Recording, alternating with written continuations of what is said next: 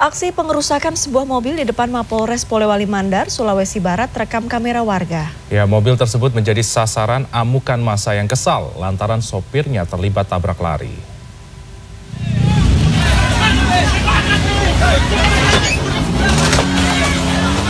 Video amatir warga merekam detik-detik aksi pengerusakan sebuah mobil yang terjadi di depan Mapolres Polman Jalan Ratu Langi, Kecamatan Polewali, Sulawesi Barat. Dalam potongan video pendek yang sempat beredar di media sosial, tampak sejumlah warga mengepung lalu merusak mobil menggunakan batu. Polisi di lokasi kejadian sempat terlihat kewalahan menghentikan aksi massa yang anarkis. Saat dikonfirmasi selasa siang, Kasat Reskrim Polres Polman Ajun Komisaris Polisi Muhammad Reza Pranata membenarkan kejadian tersebut. Menurutnya insiden terjadi pada Sabtu sore lalu. Mobil tersebut dikejar warga usai diduga terlibat kecelakaan lalu lintas di wilayah Kabupaten Pindrang, Sulawesi Selatan. Polisi sempat mengamankan tiga warga yang terlibat aksi pengerusakan dan dikenakan sanksi wajib lapor.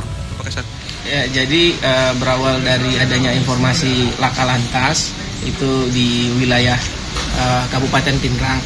Jadi uh, sebuah kendaraan jenis Honda Jazz itu diduga uh, melakukan tabrak lari.